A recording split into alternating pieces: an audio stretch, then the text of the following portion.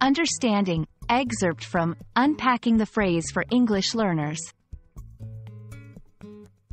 Hello, dear viewers.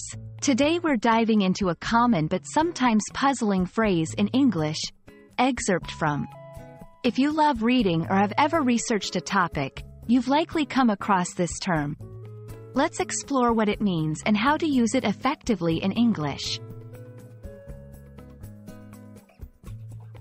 Excerpt is a small part taken from a larger written work, music piece, or film. When we say excerpt from, we are indicating that the small piece we are referring to is part of a larger content. Think of it as a snapshot within a bigger picture. It's a way to focus on a specific detail without getting lost in the entirety.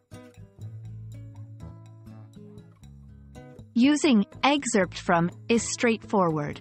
Let's say you're reading a fascinating book and you find a paragraph that perfectly encapsulates the author's argument. You might say, here's an interesting excerpt from the book. Remember, after, from, you should always name the source.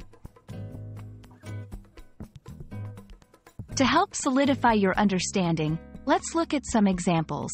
This is an excerpt from Martin Luther King Jr.'s speech.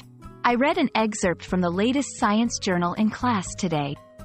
In both examples, the excerpt is a small part representing a larger whole, whether it's a speech or a journal. Excerpts can be powerful.